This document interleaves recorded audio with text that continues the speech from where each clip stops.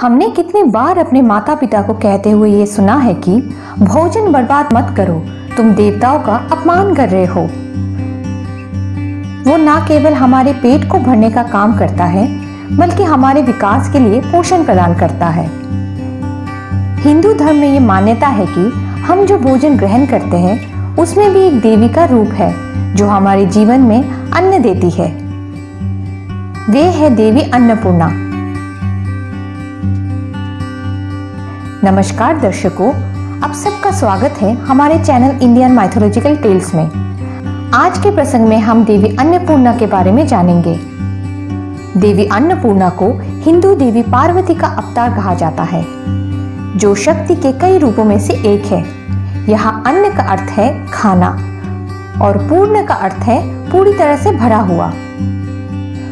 पुराणों में विस्तार अनुसार एक दिन भगवान शिव और उनकी पत्नी पार्वती भौतिक दुनिया के बारे में बहस में पड़ गए। शिव ने कहा कि भौतिक दुनिया का सब कुछ सिर्फ़ एक भ्रम है। प्रकृति, वो भी एक भ्रम है, जिसमें भोजन भी शामिल है। यहाँ कुछ भी स्थायी नहीं है। यहाँ पल आता है और चला जाता है। यहाँ तक कि भोजन में सिर्फ़ एक माया है। माँ पार्वती, जो भोजन सहित सभी भौतिक चीज़ों की जननी है, वे ये बात सुनकर बहुत क्रोधित हो गई। तभी माँ पार्वती बोली, अगर मैं सिर्फ़ भ्रम हूँ तो देखते हैं आप और बाकी दुनिया मेरे बिना कैसे रहते हैं? ये कहकर माता पार्वती अदृश्य हो गई। उनके लापता होने से ब्रह्मांड में हाहाकार मच गया। समय स्थिर हो गया, ऋतु परिवर्तन रुक सा गया। धरती बंजर हो गई और भयानक सूखा पड़ने लगा। आकाश, पाताल और धरती तीनों लोकों में भोजन उपलब्ध नहीं था। देवता और मनुष्य भूख से तरपने लगे।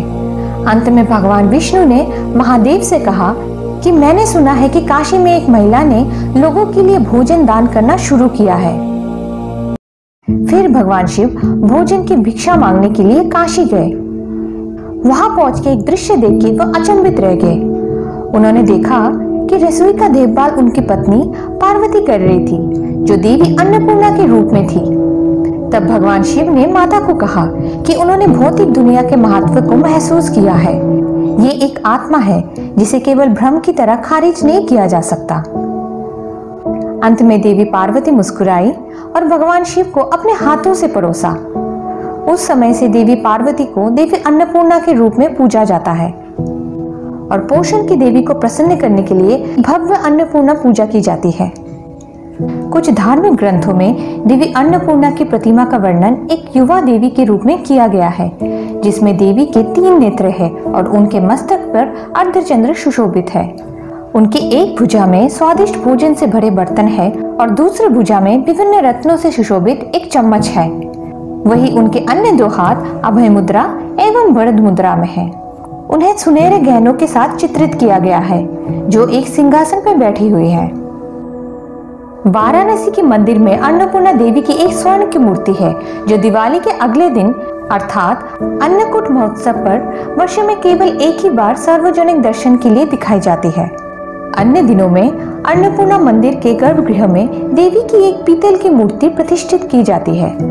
स्थानीय लोगों की ये धारणा है कि काशी की रानी देवी अन्नपूर्णा ये सुनिश्चित करती है कि उनके भक्त भूखे न रहे।